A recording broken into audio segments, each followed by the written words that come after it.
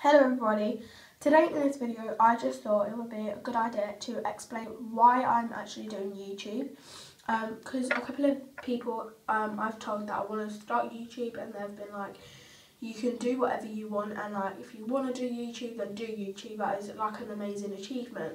So I was just thinking I'm having problems at school so I was worrying in case I'm going to have problems on here and people are going to make a mick out of me and that so I just thought if I just do it and see if people like it, then that would just be great.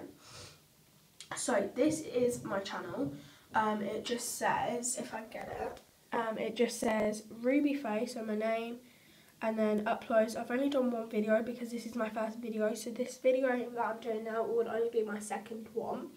So I was thinking I might as well do for my second one why I'm actually doing this because a couple of people are obviously going to be confused of why I did start YouTube. So why I started YouTube is because I'm always watching YouTube and I thought it would just be like a great opportunity to do it myself and see how it actually is. So I will try and do videos every single day, which will be good. But that's if I get enough time and I can be on my own and just explain it. So I think today I've got to go shopping, I've got to go to McDonald's and I've got to go swimming. So there'll be three things and I think I'm more than likely do a video with that. Um, I've all, I'm also going to meet my friends, so I've got four things I'm going to be doing today.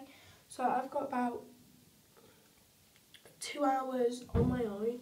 My auntie and uncle are downstairs, but if I'm upstairs, I can do quite a couple of videos, edit them, and then upload them. So yeah, if you're excited for that, just smash a massive thumbs up. At least try and get five likes on this video, and I'm at least trying to get five subscribers by the end of this year. So if you could do that, that would be amazing. I have actually put on my Instagram and Snapchat story what um, what I'm trying to achieve and so more people can come and view. So yeah, if you do like this video, make sure to smash a massive thumbs up and I'll see you later. Bye guys.